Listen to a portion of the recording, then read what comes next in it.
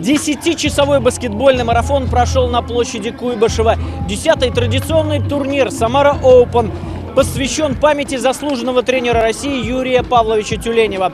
В этом году соревнования стали самыми масштабными по количеству участников и насыщенными по развлекательной программе. Еще вчера Вячеслав Чесноков грезил о профессиональной карьере баскетболиста, но попасть в команду мастеров БК «Самара» оказалось не так-то просто. Теперь он стритболист, и новый формат игры 3 на 3 на свежем воздухе для него новое испытание, а турнир «Самара Open – первые серьезные соревнования по стритболу в родном городе. В том году у нас сделали ночную лигу первый раз год. Туры, играем, практика, здорово. Уже немножко поднимаемся на уровень выше. Если будет проводиться такой турнир не один раз в год, а хотя бы три, это уже будет скачок для всех игроков. Самара Оупен – ежегодный турнир по уличному баскетболу «Мемориал» посвящен самарскому тренеру Юрию Тюленеву. Среди его воспитанников двухкратная олимпийская чемпионка Ольга Сухарнова, 20 мастеров спорта и 33 КМСника. Пять человек играли за национальную сборную, многие за куйбышевский строитель. Свои поздравления на церемонии открытия турнира через видеообращение из командировки передал самарский губернатор Дмитрий Азаров. Он впервые за 10 лет не смог сыграть в выставочном матче на Самара Оупен.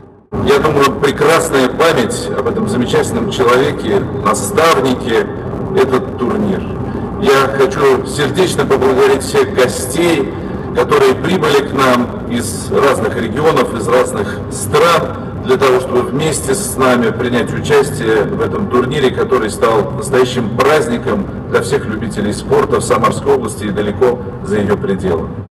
С каждым годом уровень соревнований растет. 23 площадки, 250 команд из Самарской области и других регионов страны. Впервые матчи прошли в категории «Элит». Здесь играли топ-команды из Польши, Прибалтики, Казахстана и России. Призовой фонд – 1 миллион рублей.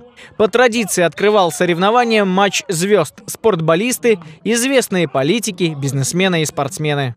И когда вас спросят, а что же такое массовый спорт. Вы должны ответить, приезжайте в последние дни августа или первые дни сентября в Самару, и вы своими глазами увидите, что такое массовый спорт.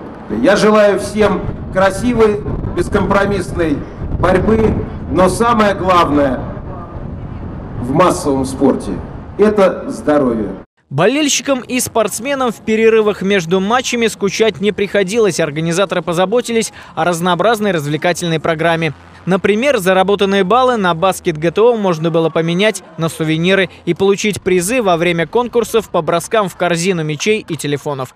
Финишировал спортивный праздник концертом популярной музыки. Сергей Кизоркин, Василий Колдашов. События.